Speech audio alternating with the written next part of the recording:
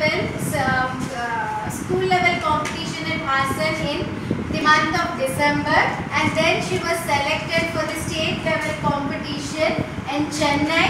And she has been the winner in the state level competition Chennai this month. That is April month she has gone to Chennai. And she has gone through all the rounds. Same like dictation round what we have followed here.